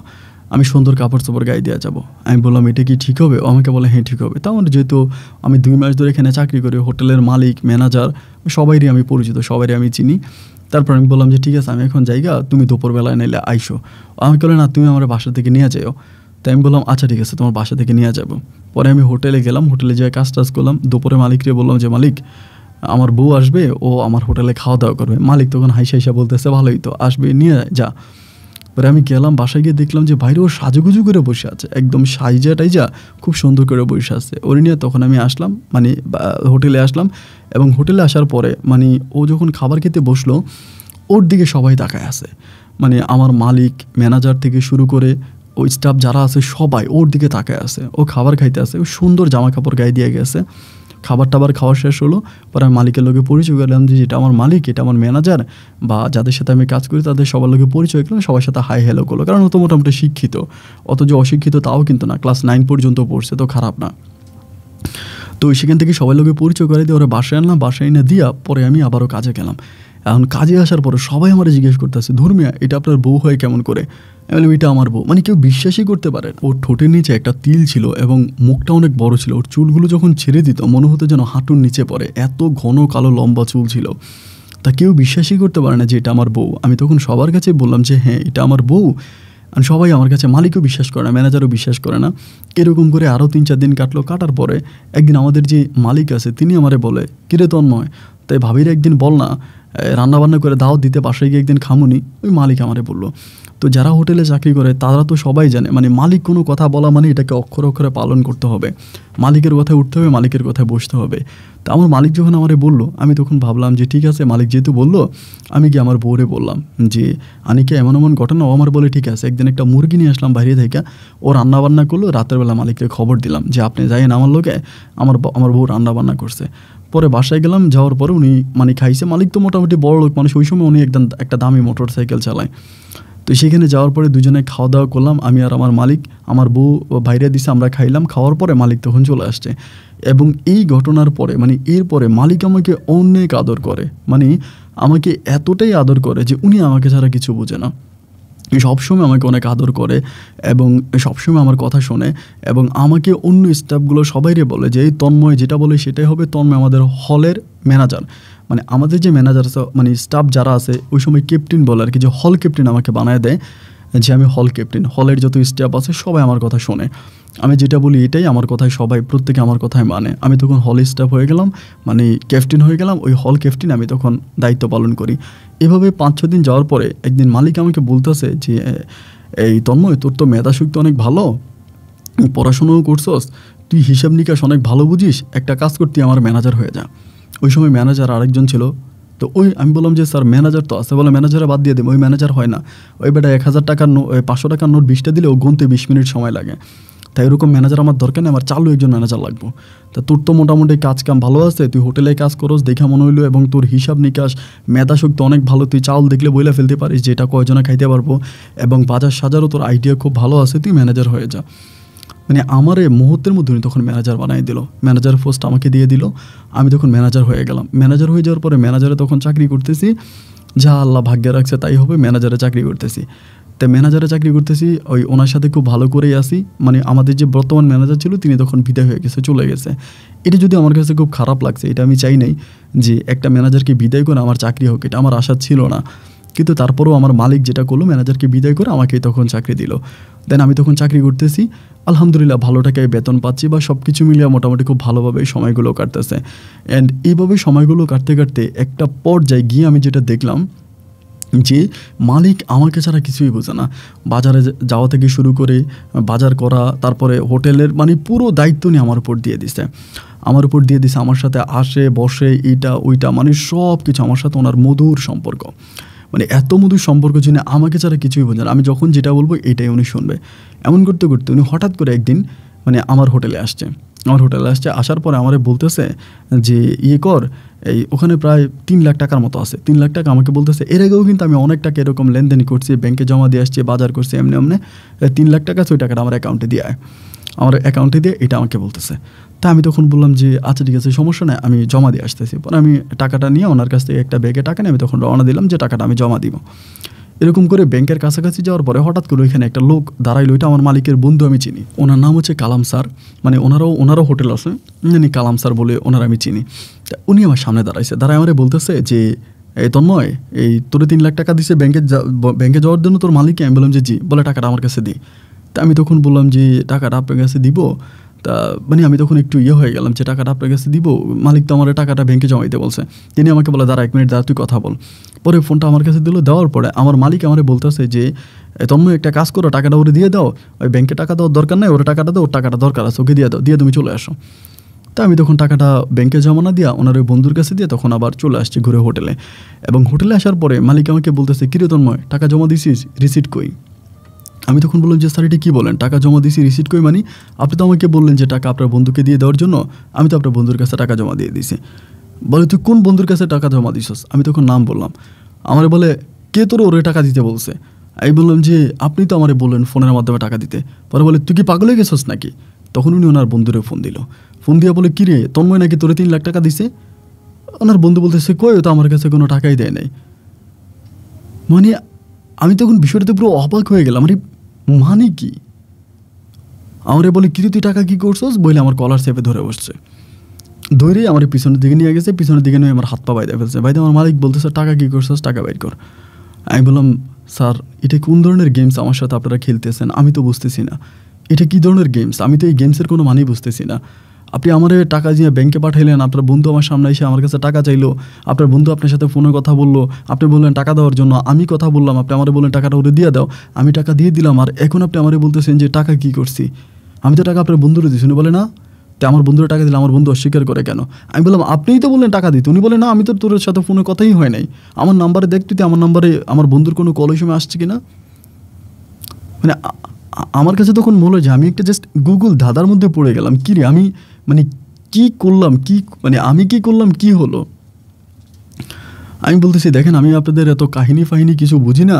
আপনারা তো দুজনে মিলে আমার সাথে একটা প্রতারণা উনি বলে, না, কোনো প্রতারণা না। থানায় ফোন দিতেছি, পুলিশ আসে, তোরা এখনই ধরে রয়ে যাইব। কোনো কথা নেই। মুহূর্তের মধ্যে উনি পুলিশ নিয়ে আসছে, আসার পরে উনি স্টেটমেন্ট স্টেটমেন্ট দিছে। ওইখানে আরও লোকেরা ছিল, সবাই বলে যে হ্যাঁ আমরা দেখছি স্যারের কাছে তিন লাখ টাকা এমনি এমনি দিছে। সাড়ে তিন লাখ টাকা তন্ময় ভাইয়ের এমনি এমনি দিছে আমাদের সামনে। ও একটা মানে মানি মানি লন্ডারিং একটা মামলায় তখন আমাকে ধরেন ধরে নিয়ে চলে গেল থানাতে। থানাতে ধরে নিয়ে গেল। আমার বউ তখন আমাকে ধরে নিয়ে যাওয়ার পরে আমার বউ তখন আসছে থানাতে আমার সাথে দেখা করার জন্য। আমি ওর সাথে দেখা করছি, আমি বললাম, তুমি টেনশন করো না। ও আমাকে বলে, তোমার মালিক বাসাকে আমি বাসায় যাব যে মালিকের বাসায় তুমি যাও না তুমি বাসায় যাও, আল্লাহ আমার কোনো না কোনোভাবে ছুটাইব। আমি কোনো না কোনোভাবে ছুটবো এটা নিয়ে তুমি চিন্তা করো না। তুমি বাসায় যাও এবং তুমি খবরদার, আমার কোনো মালিক টালিকের নাম মুখে আনবা না, কারণ আমার মালিক খুব খারাপ মানুষ, আমি বুঝে গেছি। তুমি এখান থেকে চলে যাও। ও তখন চলে গেছে অ্যান্ড এর, ওই দিন আর আসে না এরপর দিন আমার মালিক আমার সাথে দেখা করতে আসছে আইসা বলতেছে, কিরে তন্ময়, টাকা কি দিবি নাকি আমি তোর কোর্টে চালান করার ব্যবস্থা করে দিব? আমি তখন বললাম যে, স্যার, কোর্টে চালান করার ব্যবস্থা করে দেন, বা কী করে দেবেন, এটা আপনার বিষয়। আমি তো জানি না, আমি টাকা দিব না। পরে আমার বলে, টাকা দিবি না? আমি বললাম যে তুমি আমাকে বলে যে, ঠিক আছে, যেহেতু তুই এমনই করতে আসস তুই তুই আমি তোর কোর্টে চালান করতেছি। কোর্টে চালান করলে মানে ম্যাক্সিমাম এক বছর জেল খাটবি। তাই টাকা যেহেতু দিবি না, এক বছর জেল খাটবি। এটা বলে মালিক তখন চলে গেল। অ্যান্ড এরপরে যে দুই দিন কেটে গেল, আমাকে কোর্টেও চালান করে না, আমার বউ আমার কাছে আসে না, ওই মালিক আমার কাছে আসে না। তার প্রায় এক সপ্তাহ কেটে গেল, এক সপ্তাহ পর্যন্ত কেউ আমার কাছে আসলো না। এই কোর্টে আমাকে কিন্তু থানায় এক সপ্তাহ রেখে দিয়েছে আমাকে কোর্টেও চালান করে নেয় আমার মালিকও আসলো না দেন আমার বউ আসলো না। এক সপ্তাহ পর আমাকে তখন থানা থেকে বের করে দিল। থানা থেকে বের করে দিল, থানা থেকে বের করে দেওয়ার পর আমি বেরোলাম বেরোয় বাসায় গেছি, বাসায় যেয়ে দেখতেছি আমার বউ নাই। আমার বউ নেই, আমি মালিকে মানে বাড়িওয়ালার জিজ্ঞেস করলাম যে, আমার বউ কই? বলে, আপনার বউ গ্রামে চলে গেছে। তো গ্রামে চলে গেছে মানে? বলে হ্যাঁ ও গ্রামে চলে গেছে। আমি তখন, আমার মালিকের কাছে না গিয়ে আমি তখন পাগল হয়ে গেলাম যে, আমার বউ গ্রামে সেই সময় মোবাইল ফোনের তো জামানের যে মোবাইলে ফোন করে জিজ্ঞেস করব আমি তখন ডিরেক্টলি বাসে উঠে তাড়াতাড়ি করে চলে গেছি আমার বাড়ির উদ্দেশ্যে। বাড়ির উদ্দেশ্যে গেছি এবং দৌড়িয়া বাড়িতে গেছি, বাড়িতে যেয়ে দেখি যে হ্যাঁ ঠিকই। আমার বউ বাড়িতে। মানে ওর মানে ওর বাপের বাড়িতে, ওর ওর বাবার বাসায়। আমি বাড়িতে গেছি, যাওয়ার পরে ওর বাবা মা আমার দিকে তাকে আসে তাকে আমরা বলতেছে যে থেকে আসছেন? আমি যখন বলতেছিলাম, আমার বউ তখন আমাকে ইশারা দিল মুখে। আমি তখন কিছু বললাম না। পরে আমারে বলতেছে, হাত মুখ ধুয়ে আসো, আম্মা খাবার দিব। পরে আমি হাত মুখ ধুয়ে আসলাম পুকুর থেকে, আমার খাবার দিল। আমি তখন খাবার খাচ্ছি আর ওর মুখের দিকে তাকে আছি। খাবারটা খাইয়েই ওরে আমি টান দিয়ে ভিতরে নিয়ে গেছি, রুমের ভিতরে। যে কী হইল অনিকা তুমি আমারে কোনো কিছু না বইলেই তুমি টাকা পাইলে কই? ভাড়া ভাড়া ও কিন্তু ভাড়া দিয়ে আসতে হয়েছে, কারণ এক মাসের ভাড়া বাকি ছিল। তা তুমি ভাড়া কই পাইলা? ভাড়ার টাকা কোত্থেকে দিলা? এবং তুমি গাড়ি ভাড়া কই পাইলা? তুমি চলে আসলা কেমনে? এটা কি ধরনের কথা? বাসা ছেড়ে দিয়ে তুমি ভাড়া দিয়ে চলে আসলা? এক মানে ভাড়া কিন্তু রানিং মাসে তো দিয়েছে, আবার সামনের মাসে ভাড়াও দিয়ে দিছে। কারণ তা না হলে তো আবার ওকে ছাড়বে না। কারণ বাসা ছাড় দিলে এক মাস আগে বলা লাগে। তো এই জন্য বাড়িওয়ালার কাছে শুনলাম রানিং মাসের ভাড়াও দিছে মানে ওই ভাড়াও দিয়ে দিছে। তো তুমি টাকা পাইলা, আমার প্রশ্ন হলো টাকা কই পাইলা? ও তখন কিছু বলে না জাস্ট কান্না করতেছে। তা কান্না করতেছে দেখে আমি বললাম যে, কান্না করতেছো কেন? টাকা কই পেয়েছ এটা আমাকে বলো। দেখলাম যে ও কান্নাকাটির মানে পরিমাণটা বাড়াই দিচ্ছে কান্না করতেছে। তা আমার ভিতরে তখন একটু ইয়ে ঢুকে গেলো যে, কিরে, কান্না করতেছে কেন? ওই টাকা কই পাইছে? আমার এটা বললেই তো হয়, কান্না কেন করতেছে? তখন আমি বললাম, যে টাকা কই পাইছো বলো না কেন? আমার বলে, তোমার মালিককে দিছে। আমি যে, আমার মালিককে দিছে মানে আমার মালিককে তোমার টাকা দিল কেন? ও বলে, কেন দিছে? আমি মিথ্যা বলতে পারব না আর সত্যও বলতে পারব না। তবে উনি টাকা দিছে উনি টাকা দেওয়ার পরে আমি বাসা ভাড়া দিয়া অ্যাডভান্স বাসা ভাড়াও যেটা দেওয়ার ওটাও দিছি সব কিছু দিয়া আমি কাপড় চোপড় যা আছে সব কিছু নিয়ে গ্রামে চলে আসছি। আমি বললাম, তার মানে? ও আমাকে বলে, তোমাকে যে জেলে দেওয়া হয়েছে, এটাও তাদের একটা প্ল্যানিং ছিল। তুমি একটা ভুল করছ, আর আমিও একটা ভুল করছি। তোমার উচিত হয় না আমাকে নিয়ে তোমার ওই মালিকের বাসায় যাওয়া এবং সরি মালিকের হোটেলে যাওয়া আমাকে তোমার মালিকের সাথে পরিচয় করিয়ে দাও এই কাজটা তুমিও ভালো করো নাই, আমিও ভালো করিনি আমরা এটা বুঝতে পারিনি এবং আমরা বুঝতে না পারার কারণেই কিন্তু আজকে আমাদের এত বড় একটা ঘটনা গলে গেল। আমি তখন বললাম যে, আনিকে, কী হয়েছে আমার কাছে বলো, মালিক তোমাকে এতগুলো টাকা কেন দিল? আমার মালিক তো অনেক কিপটা মানে কিপটা স্বভাবী লোক, সে তো এত টাকা দেওয়ার কথা না। তবে এরপরে যেটা বুঝার আমি সেটা বুঝেছি, কিন্তু বুঝেও তো আমার কিছু করার নাই। আমি তখন কান্না করতেছি, আমিও প্রচুর কান্না করে আমারে বুঝাই প্লিজ যা হবার তা হয়েছে তুমি কান্না করো না, আমি তো সুস্থ আছি, আমি তো ভালো আছি, আমি তো এখন ঠিক আছে, আমি তো চলে আসছি, তাই না? তোমার তো কান্না করার কিছু নেই, তুমি কান্না করো না। যাই হোক আমি আর কান্নাকাটিও করলাম না, যা হবার ভাগ্যে যেটা হবার সেটাই হইল। বাড়িতে গেলাম আব্বা আমা বাড়িতে উঠতে দেয় না, ছোটো বোনের বিয়ে হয়ে গেছে, আমি তাও বাড়িতে আসি নাই। বাড়িতে উঠতে দেয় না, খুব খারাপ ব্যবহার করতেছে, আমার সাথে আমার ফ্যামিলি খারাপ ব্যবহার করতেছে, একইভাবে আনিকের সাথেও আনিকার বাবা মা খারাপ ব্যবহার করতেছে, যে এরকম এরকম ঘটনা কেন, এরকম একটা ঘটনা ঘটাইলো, কেন সিরাজ স্যারের বিয়ে না করে আমারই বিয়ে করল এই জন্য ওর পরিবারের উপরে খুব গালাগালি, ওর মানে টোটালি দেখতে পারে না, খুব গালাগালি করতেছে, খুব খারাপ ব্যবহার করতেছে। আমি তখন বাড়িতে পড়ে আছি, দুজনের মাঝে তখন খুব সমস্যা। শ্বশুর বাড়িতে গেলে আমার শ্বশুর শাশুড়ি মানে আনিকার বাবা মা আমার সাথে খারাপ ব্যবহার করে, আমার সাথে ঠিকমতো কথা বলে না, এবং আমার বাড়িতে তো আমার বাবা মা আমার সাথে দুর্ব্যবহার করে, অত্যন্ত খারাপ ব্যবহার করে। আমি কেন আনিকার নিয়ে পালাই গেলাম? কেন আমার পড়াশোনা আমি ছেড়ে দিলাম? আমি এসএসসি অন্তত পাশ করতে পারলে অন্তত অন্য কিছু জায়গায় আমি আর্মিতে চাকরি পেতাম আমি দেখতে শুনতে লম্বা টম্বা ছিলাম মিলিটারিতে চাকরি পেতাম কেন আমি এরকমটা করলাম না? কেন চাকরি আমি পাইলাম না? বা কেন আমি এরকমভাবে নিজের জীবনটা নষ্ট করলাম? মানে সব কিছু মিলে আমার সাথে সবাই দুর্ব্যবহার, খারাপ ব্যবহার। এমন করতে করতে আমার মা তখন আমার নানু বাড়ির কাছে থেকে, আমার নানু বাড়ি থেকে কিছু টাকা আনছিল। মামারা যে সম্পদ ভাগ করছে, ওইখান থেকে কিছু টাকা পাইছে, প্রায় দেড় লাখ টাকার মতো। এই দেড় লাখ টাকাই না আমার আম্মু আব্বারে বলতেছে যে, যেহেতু ও আমার ছেলে টাকাটা দিয়ে ওরে বলো না কিছু একটা করার জন্য। ও কিছু একটা করুক। যেহেতু ওদের দেড় লাখ টাকা ওইখান থেকে পাইছি, ওরে কিছু একটা করতে বলল এভাবে তো ওর জীবন নষ্ট হওয়ার প্রয়োজন। যেহেতু বিয়ে শাদী করছে পালাই গেছে যাওয়া বার্তা হয়েছে তো দেড় লাখ টাকা দিয়ে আসলে ওই সময়ে কি করা যায়? আমার আব্বা তখন চিন্তা ভাবনা করল যে দোকান দিয়ে দিবে, আবার ভাবতেছে দোকান দিয়ে দিলে তো হবে না। কারণ দোকানে আরও তো ইনকাম টিনকাম হয় না, দোকান দেড় লাখ টাকা দিয়ে হবেও না। এর মাঝে হঠাৎ করে আমার আব্বারিকে জানি বুদ্ধি দিল যে ছেলেটাকে বিদেশ পাঠিয়ে দাও। বিদেশ পাঠিয়ে দিলে ছেলেটা ভালো কিছু করতে পারবে। অ্যান্ড এমতো অবস্থার ভিতরে আমাদের এলাকার এক লোক লিবিয়াতে থাকে। ওই লোকের সাথে, ওই লোক তখন ছুটিতে বাড়িতে আসছে, আমার আব্বা ওই লোকের লোকে দেখা হইল বাজারে। ওই লোকে আমার আব্বারে বলল যে, পাসপোর্ট করে পাসপোর্টটা আমার তো, আমি লিবিয়ার ভিসা লাগাই দিমু। লিবিয়া তাইতে পারব। আমার আব্বা বলে, লিবিয়া তো যুদ্ধ হয়, ওই সময় প্রচুর যুদ্ধ। ওই লোকটা বলে, যুদ্ধ হয়ে বলেই তো যাইতে কম টাকা লাগবো। যাইতেও কম টাকা লাগবো এবং ওইখানে গেলে তার ভালো একটা চাকরি হইব। তাই এটা বলার পরে যেহেতু যুদ্ধবিদ্রোহের দেশ তারপর আমার আব্বা বলল যে আচ্ছা ঠিক আছে, সমস্যা নাই, আমি দিব পরে অল্প কিছু টাকার ভিতরে আমি তখন মানে পাসপোর্ট টাসপোর্ট বানায় পাসপোর্ট জমা দিলাম ভিসাটাও লেগে গেল। অল্প কিছু দিনের ভিতরে আমি তখন লিবিয়াতে চলে গেলাম। তা লিবিয়াতে চলে যাওয়ার পরে উনি আমাকে যে বিষয় নিয়েছিল, আমাকে যেই কাজ দেওয়ার কথা বলছিল, কিন্তু আদত আমি সেই কাজের কোনো চিঠিপটাও দেখি নাই। আমাকে রেস্টুরেন্টের কাজের কথা বলছিল, আমি রেস্টুরেন্টের কাজ আমাকে দেয় আমাকে যেখানে কাজ দিছে এই জায়গাটা মানে একটা মরুভূমির মতো একটা জায়গা এবং এই জায়গাটা এতটাই ডেঞ্জারাস যে প্রতি মানে দু একদিন পর পর এখানে মানুষ মারা যায়। মানে বোম মারা হয়, বোমে মানুষ মারা যায়। খুবই ডেঞ্জারাস খুবই ক্রিটিক্যাল একটা প্লেস আর কি খুবই ভয়ঙ্কর একটা জায়গা। হ্যাঁ এইখানে আমাকে কাজে দিছে যে এখানে তুই কাজ কর। তো যে কোনো সময় বোম পরে মারা যেতে পারি। তখন মোবাইলের আবিষ্কার হয়েছে। ওই মোবাইল টোবাইল আছে বাড়িতে এলাকাতে ফোন আসে, ফোন করে বাড়িতে কথাবার্তা বলেছে এই ঘটনা, লিবিয়াতে থাকা তো আমার জন্য খুব রিক্স হয়ে যাচ্ছে। এখানে যে কোনো সময় বোম পরে মারা যেতে পারি এবং যেই টাকা বেতন পাই, ওই টাকা দিয়ে নিজে চলাফেরা করার পরে আর অবশিষ্ট কোনো টাকা থাকে না যে কিছু টাকা বাড়িতে পাঠাবো, এরকম কিছুই থাকে না। আমার বউও ওইখানে নির্যাতিত, যেহেতু তার অনেক ছোট বোন আছে, ছোট বোনগুলোর বিয়ে হয় নাই। ওর বাবা ওরে রাখতে পারতেছে না, আমাদের বাড়িতেও আমার বাবা আনতেছে না। মানে মোটামুটি ওরও আমার বাবা মাইনে নেয় নাই। যার জন্য ধরেন এমন একটা অবস্থার ভিতরে তখন পড়ে গেলাম। পরিবার যেহেতু বাবা মা মানে নাই এই জন্য আনিকারা আমাদের বাসায় আনতেছে না। তখন আমি কী করব? খুব খারাপ অবস্থার মধ্যে সময়গুলো কাটতেছে। কোনোভাবেই কোনো কিছু করতে পারতেছি না, চলতে পারতেছি না। আর প্রতিটা মুহূর্ত যখনই আনিকের সাথে কথা বলি, ও খুব কান্নাকাটি করে যে, তুমি আমার লাইফ নষ্ট করছ। এখন আমি যদি সিরাজ স্যারকে বিয়ে করতাম, আব্বা, আম্মা আমাকে মেনে নিত বা সব ঠিক হইতো। আজকে সিরাজ স্যারকে বিয়ে করে নেয় বইলা পরিবারের কাছে আমি প্রতিটা মুহূর্তে অপমানিত হচ্ছি। আব্বা আমার সাথে দুর্ব্যবহার করে, খারাপ ব্যবহার করে, কেউ আমাকে দেখতে পায় না। আমার সাথে খারাপ ব্যবহার করে আমি কেন তোমাকে বিয়ে করলাম? এগুলো এগুলো আমাকে বলে। আর আমি যেখানে চাকরি করি ভাই, মাস শেষে মনে হয় না যে আট দশ হাজার টাকা রাখতে পারি। এত মানে অবস্থা। পরে হঠাৎ করে মাথায় একটা জিনিস আসলো যে, ওইখান থেকে অনেক মানুষ তখন ইতালিতে চলে যায়। মানে বাইপথে ইতালি যায়। হঠাৎ করে মনে হলো যে, অনেকেই যেহেতু ইতালি যায়, আমি ইতালি চলে যাব। নিজের ভিতরে এই জিনিসটা আসলো যে, আমি ইতালি চলে যাব এবং ইতালিতে যেহেতু অনেকেই যাচ্ছে, ওইখানে গেলে কোনো না কোনো একটা ভালো ব্যবস্থা হয়ে যাবে।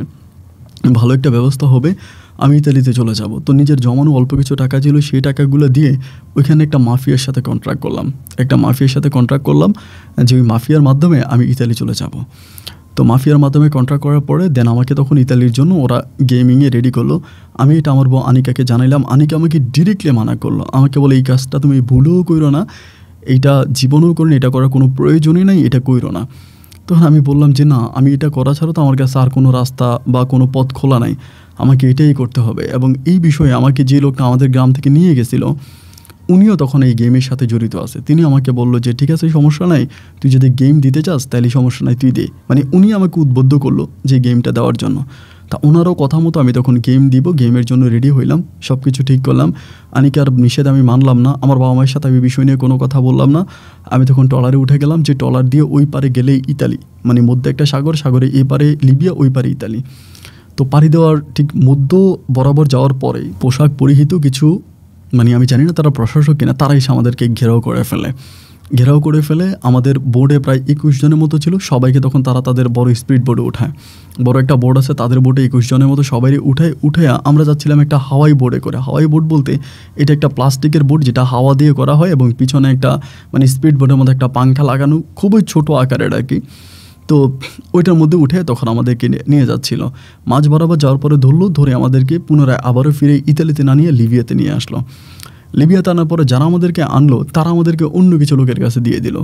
মানে অন্য কিছু লোক ওইখানে বিভিন্ন দেশের লোক আছে, বাঙালি আছে, ইন্ডিয়ান আছে, এরকম কিছু লোকের কাছে মনে হলো যেন আর কি আমাদেরকে বিক্রি করল।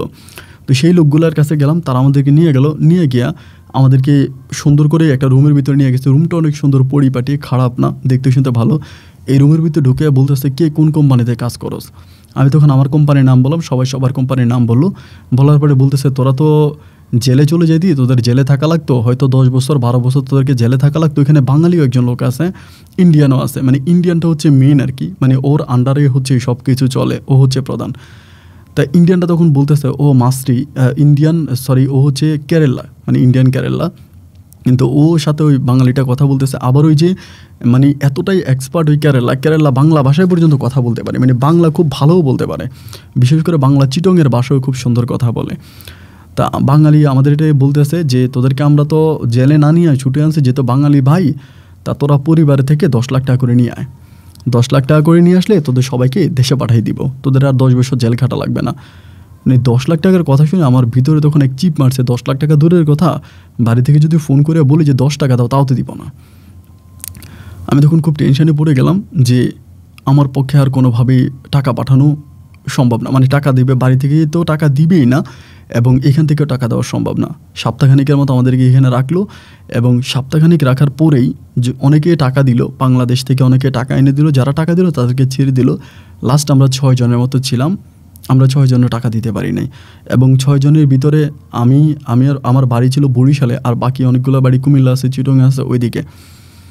তা তখন আমাদের পরিবার থেকে টাকা আনতে পারতেছি না। আর টাকা যেহেতু আনতে পারতেছি না এক এক দিন যে কী পরিমাণের মারা মারে এই মায়ের বর্ণনা দিয়ে শেষ করতে পারব না। এত পরিমাণের টর্চার করে, এত পরিমাণের মারে মানে শিয়াল কুকুরের মতো মারে, প্যান্টের বেল খুলে কুকুরের মতো পিটায়, কুকুরের মতো পিটায়, এমনভাবে আমারে পিটায়। আমি এই মায়ের যন্ত্রণা সহ্য করতে পারতেছিলাম না। আজ পর্যন্ত যে বাকি ছয়জন ছিল, ছয়জনের ভিতরে ওদেরকে আমার কাছ থেকে আলাদা করে ফেলে। তাদেরকে মেরে ফেলে না, দেশে পাঠিয়ে দেয় কী করে আমি জানি না। তখন আমাকে একা একটা রুমের ভিতরে আটকায় রাখে।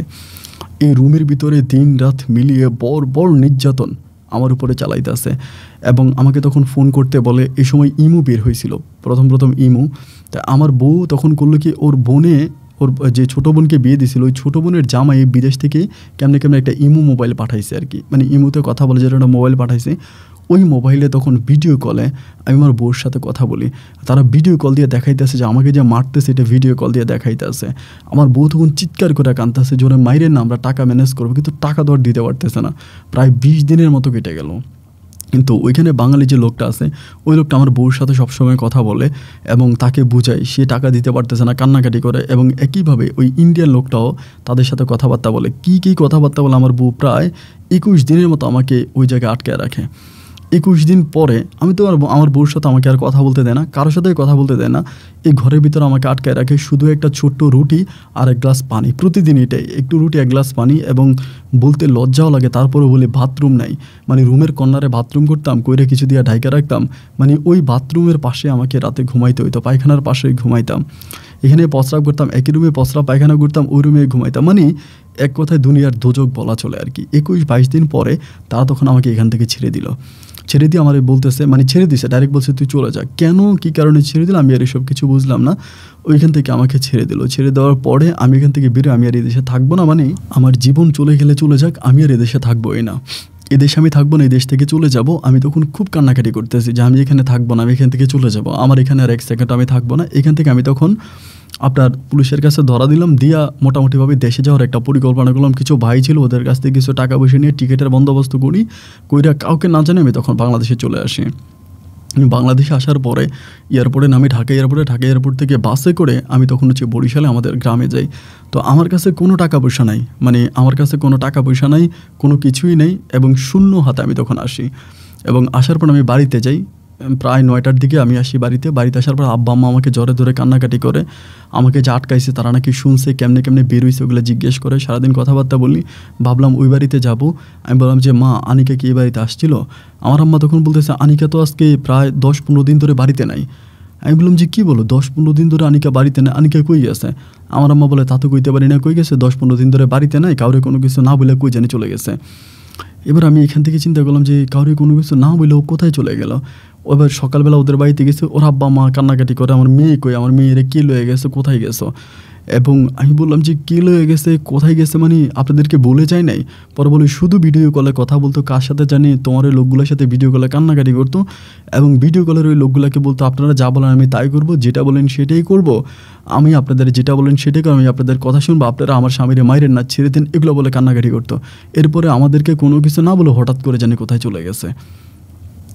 আমি তখন বুঝতে পারলাম না কিরে কোথায় চলে গেল, সারাটা দিন কেটে গেল, সারাটা দিন পরে রাতে বালিশটা মাথার মধ্যে রেখে মানে মাথার মধ্যে বালিশটাকে রেখে চিন্তা করতেছি যে ও যে চলে গেল, এখানে যতগুলো লোক ছিল, প্রত্যেকটা লোকের ফ্যামিলি থেকে টাকা আনার পরে প্রত্যেকটা লোককে ছাড়ছে।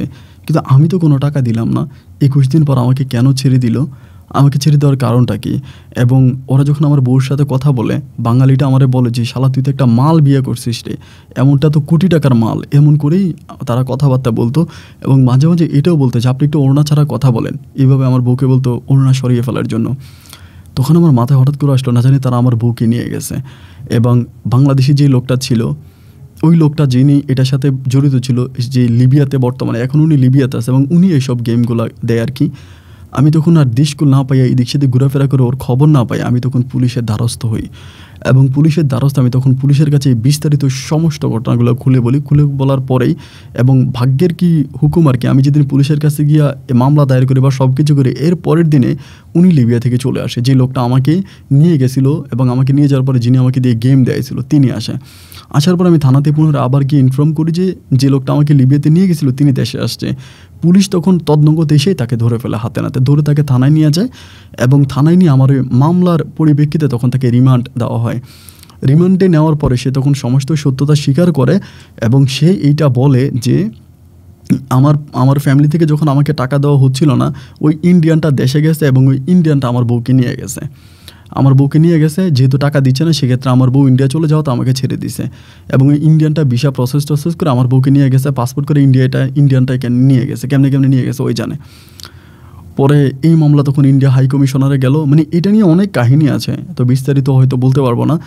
এই মানে অনেক কাহিনীর পরে প্রায় আড়াই মাস পরে, আড়াই মাস পরে আমার বউকে ইন্ডিয়া থেকে হাই কমিশনারের মাধ্যমে ইন্ডিয়া থেকে উদ্ধার করতে সক্ষম হয় পুলিশ। এবং এটা একটা পত্রিকার মাঝেও আসে এই কথাটা। আমার বুক ইন্ডিয়া থেকে উদ্ধার করে এবং উদ্ধার করে আমাদের কাছে এনে দেয়। আলহামদুলিল্লাহ, ওকে পাওয়ার পর আমি অত্যন্ত খুশি হই, যেটা আসলে বলার মতো না। কিন্তু ওকে যখন দেশে আনা হয়, ওকে দেশে আনার পরে ওর অবস্থা খুব খারাপ হয়ে যায়। অবস্থা খারাপ এরকম ওকে দীর্ঘদিন আমি হসপিটালে ভর্তি রাখি এবং ওর মুখ থেকে আমি যে সমস্ত কথাগুলো শুনি বা যেগুলো ও বলে, এটা আসলে আর মেনে নেওয়ার মতো না। এমন একটা এমন একটা কাজ ওর সাথে হয় এবং ওকে এইটাই বলে যে, আপনি যদি টাকা দিতে না পারেন, তাহলে আপনি ইন্ডিয়াতে অমুক জায়গায় আসেন। আপনি আসা, ওই জায়গায় আইসা, আসার পর আপনার হাজব্যান্ডকে আমরা ছেড়ে দিব। তো আমার বউ বলে তাকে অবৈধভাবে নিয়ে নিয়ে যাওয়া হয়েছিল ভিসা টিকিট করে নেয় নাই। বর্ডার দিয়ে তারা কেমনে কেমনে তাদের মাফিয়া লোক দিয়ে তারা বর্ডার ক্রস করে আমার বউকে ওইখানে নিয়ে যায়। এবং আমার বউকে নিয়ে যাওয়ার পরেই নাকি আমাকে ছেড়ে দেওয়া হয়। তার মানে আমার বউ নিজে ইজ্জত বিক্রি করার পরিপ্রেক্ষিতে আমি বের হতে পারি। আমি ইয়া থেকে বের হই, জেল থেকে বের হই মানে লিবিয়ার ওই মুক্তি আমাকে তারা মুক্ত করে। তো যে লোকটা এই ঘটনাগুলো ঘটিয়েছিল বরিশালের, ওরও কিন্তু জেল হয়। দীর্ঘদিন, দীর্ঘ বছর ওর জেল ওকে জেলে নিয়ে যায়। তো এমত অবস্থার ভিতরে তখন আনি, আনার পরে ওর যে মেন্স হয় মেয়েদের যে একটা মাসিক বলে একটা সমস্যা আছে, প্রতি মাসে হয়, ওইটা হওয়ার পরে ওর মানে এত পরিমাণের ব্লাড যায় যে ওর শারীরিক অবস্থা খুব খারাপ হয়ে যায়, যা ও শোয়া থেকে উঠতে পারে না এবং একটা পর্যায়ে ও হঠাৎ করে ওর পেট টেট ফুলে যায় মানে এত পরিমাণের অসুস্থতা যেটা বলে বোঝাতে পারব না। তো আমার পরিবার থেকেও কিন্তু তখন আর কোনো রকমের আমার যেই বোন ছিল, বোনকে বিয়ে দেওয়ার পরে আমার আব্বার যেই বিটাটা ছিল, আমার আব্বা এই বিটাটা পর্যন্ত এক জায়গায় বন্ধক দিয়ে দেয়। মানে বন্ধক দিয়ে আব্বা টাকা ওঠে, আমাদের যে বাড়ির জায়গাটা সেটা বন্ধক দিয়ে টাকা ওঠে, তা ওই টাকাটা আমাকে দেওয়ার জন্যে, আমাকে লিবিয়াতে পাঠানোর জন্যে এরপরে তো আমার বউ চলে যাওয়ার পরে আর কারোর সাথে ওরা কোনো যোগাযোগ করে না এই জন্য আমার আব্বা ওই লাস্ট পর্যন্ত বন্ধকের টাকাটা কেমনে কেমনে খরচ করে ফেলে। সেই টাকাটাও আব্বা খরচ করে ফেলে, যার জন্য বাড়ির বিটাটা আমাদের বন্ধক। তো ওর তখন এই অবস্থা মানে অবস্থা খুব খারাপ। তখন আমি আমার কাছে যতটুকু আছে, আমি তো মাঠে ঘাটে কৃষিকাজ করি। যা কয়েক টাকা পাই ওটা দিয়ে ডাক্তারের কাছে নিয়ে গেলে ডাক্তার বলো ওর নাকি মানে ইনফেকশনে রোগ হয়ে গেছে, এটা অপারেশন করতে হবে। মানে ডাক্তার যেভাবে আমাকে বলল আর কি, আমি তো আর ডাক্তারদের বাসা বুঝি না বাট অপারেশন করতে হবে। প্রায় অপারেশনে দেড় দুই লাখ টাকার মতো খরচ হবে। এটা মোটামুটি একটু ক্রিটিক্যাল অপারেশন এবং ওর ভিতরে পুরো ইনফেকশন জমে গেছে, সম্পূর্ণ ইনফেকশন তো এখন এটা অপারেশন করানোর টাকা তো আমার কাছে নাই। আমার আব্বু তার জায়গায় বন্দুক দিয়ে রাখছি, আমি লিবিয়া থেকে মাইর খেয়ে আসছি, আমাকে আমাদের এলাকার কোনো লোক একটা টাকাও দেয় না।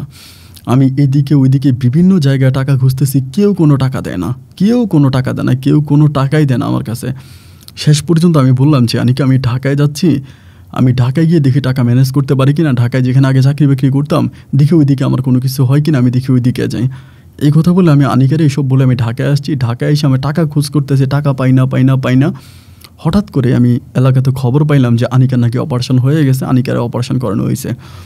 আনিকার অপারেশন করাইছে, আমি এটা খবর পাওয়ার পরে আমি তখন ঢাকাতে তখন টাকা ম্যানেজ করতে পারি নাই কিন্তু। ঢাকা থেকে দৌড়ে বাড়িতে আসি বাড়িতে আসার পরে জানতে পারে ওর অপারেশন হয়েছে এবং খুব ভালোভাবে অপারেশন হয়েছে। কিন্তু এই অপারেশনের টাকা আমাদের সেই স্কুল জীবনের শিক্ষক সিরাজ স্যার দিছে। সিরাজ তারোর অপারেশন করাইছে। এটা জানার পর আমি তখন অবাক হয়ে গেলাম যে সিরাজ স্যার তারোকে অপারেশন করাইছে। এরপরে দেখলাম যে সিরাজ স্যার ওদের বাড়িতে আসে, যায়, আসা, যাওয়া আসা যাওয়া, আসা, যাওয়ার মধ্যে আছে। একটা পর্যায়ের বাবা মা আর আমাকে ওই বাড়িতে ঢুকতে দেয় না। ওদের বাড়ির ওখানে ঢুকতে দেয় না, ওদের বাড়ির ওখানে যেতে দেয় না। ওদের বাড়ির ওখানে গেলে ওর বাবা মামার সাথে খারাপ ব্যবহার করে, কেন আসছো? কী কারণে আসছো? আমাকে বের করে দেয় অ্যান্ড একটা পর্যায়ে জানি না, এটা কি আনিকা ইচ্ছায় করে নাকি অনিচ্ছায় করে, আনিকা আমাকে ডিভোর্স করে দেয়। আর আমার বাবা তো তখনও আনিকাকে মেনে নেয় পরিবার থেকে ডিভোর্স করে, আমাকে ডিভোর্স করে। আমাকে ডিভোর্স দিয়ে দেওয়ার পরে আমি তখন সমস্ত কষ্টগুলো বুকে জমা দিয়ে আমি পুনরায় আবারও ঢাকায় চলে আসি এবং ঢাকা আসার পর আমি আবার হোটেলে চাকরি করতে শুরু করি। অ্যান্ড একটা পর্যায়ে আমি এটা জানতে পারি যে আনিকা এই বয়সে এই বৃদ্ধ সিরাজ স্যারকে আবারও বিয়ে করে। বৃদ্ধ সিরাজ স্যারকে বিয়ে করে এবং বিয়ে করার পরে তার ঘরে দুইটা কন্যা সন্তান হয়। সিরাজ স্যারের আগেরও ছেলে মেয়ে আছে তাদেরকে নিয়ে আমার বউ আনিকা আলহামদুলিল্লাহ সিরাজ স্যারের সংসারে সুখে আছে। এবং সেই থেকে আজকে প্রায় দশ বারো বৎসরের মতো কেটে গেছে। আমি বিয়ে শাদি করি নাই। ঢাকায় একটা হোটেলে চাকরি করি এবং সেই হোটেলে চাকরি করতে করতে কিছু টাকা হয়। হওয়ার পরে আমি মিরপুরের দিকে একটা বাংলা হোটেল দিই। এবং নিজের টাকাই দিয়ে হোটেলটা, হোটেলের জায়গাটাও মোটামুটি কিনি ব্যাংক থেকে লোন করে কিনি এবং এখানে একটা হোটেল দিই আলহামদুলিল্লাহ এখন ভালো আছি। বয়স প্রায় শেষের দিকে মানে বিয়ের বয়স অনেক আগে পেরিয়ে আসছি, তো এখন শুধু মৃত্যুর জন্য অপেক্ষা করতেছি। আপন ভাই, হঠাৎ করে আপনার এই গল্পগুলো আমার সামনে পড়ল। সামনে পড়ার পরে মনে হলো যে আসলে আমার জীবনে অনাকাঙ্ক্ষিত ঘটনাগুলো আপনার সাথে শেয়ার করি। তারপর অনেকটা আপনাকে শোনাইলাম। শেষের দিকে আরও অনেক কাহিনী ছিল, অনেক কিছুই। ওইগুলো আর মানে বলাতে আর ইচ্ছেও করতেছে না বা কেমন জানি হাঁপিয়ে উঠছে। যার জন্য আপনাকে এগুলো বললাম। যদি আপনার মনে হয় যে আপনার বন্ধুদেরকে, আপনার সাবস্ক্রাইবারদেরকে আপনি আমার এই ঘটনাটা শোনাবেন, আপনি শোনাতে পারেন। আমার তরফ থেকে আপনাকে অনুমতি দিলাম। আপন ভাই, আমার হোটেলের নাম হচ্ছে এটা এটা মিরপুর এত নাম্বারে এবং যদি আসেন আমার হোটেলে এক বেলা ভাত খেয়ে যান আপনার জন্য আমার তরফ থেকে দাওয়াত রইল। ভালো থাকবেন, আসসালামু আলাইকুম।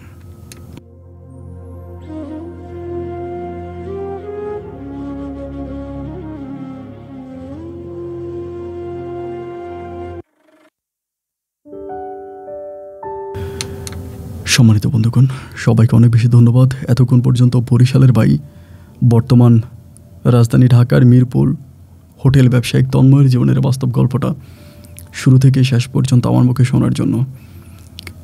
টাকা আসলে কি? এটা যখন পকেটে থাকে তখন বোঝা যায় না। আর পকেটে না থাকলে বোঝা যায় যে টাকা আসলে কি। আপনার টাকা যখন আপনার পকেটে থাকে, আপনি দুই হাত ভরে খরচ করতে পারেন, কোনো সমস্যা নেই। টাকা যে একটা জিনিস এবং এটা যে খুব প্রয়োজনীয় একটা জিনিস আপনি এটা বুঝবেনই না। কিন্তু যখন ওই টাকা আপনার কাছ থেকে চলে যাবে, যখন আপনি টাকার জন্য মানুষের কাছে হাত পাতবেন, তখন আপনি বুঝবেন যে টাকা আসলে কতটা ইম্পর্টেন্ট আমার গল্পটাতে একটা বিষয় খুব অবাক হয়ে গেলাম। আনিকা সবার সাথে যুদ্ধ করল মানে ওই নিজেকে পর্যন্ত বিক্রি করে দিল আপনার ইয়েদের হাতে মাফিয়াদের হাতে, কিন্তু পরিবারের কাছে হেরে গেল। যাই হোক, যদি ওই মুহূর্তে সিরাজ স্যার আনিয়াকে কে সহযোগিতা না করতে হয়তো আনিকার অপারেশনটাও হতো না মেয়েটা হয়তো মারা যেত। সিরাজ স্যার ওকে বিয়ে করে নতুন জীবন দিয়েছে এবং তন্ময়েরও আনিকাকে নিয়ে কোনো অভিযোগ নাই।